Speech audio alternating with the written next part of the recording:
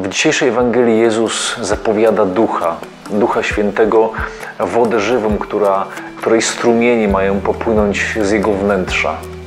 I ewangelista tłumaczy, że właśnie ta woda żywa to jest Duch Święty, który jednak, jak zastrzega ewangelista, e, nie był jeszcze dany, ponieważ Jezus nie został jeszcze wsławiony czy uwielbiony. To pewna perspektywa, która dopiero miała stać się udziałem tych, którzy uwierzą, uwierzą w Jezusa. Tekst grecki Ewangelii e, mówi mniej więcej, czy wypowiada mniej więcej taką formułę e, upogar en pneuma hagion.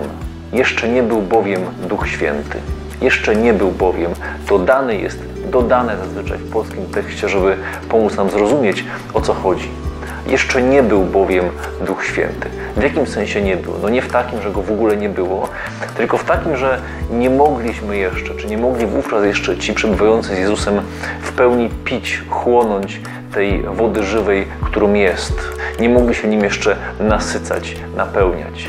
Warunkiem było dopiero uwielbienie Jezusa, wejście w chwałę, doświadczenie tej chwały, która następnie stała się i staje się wciąż udziałem wszystkich Jego uczniów.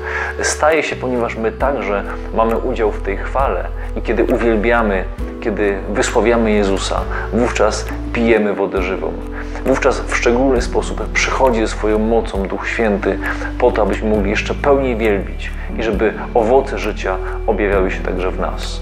Im bardziej uwielbiamy, tym bardziej napełniamy się wodą żywą.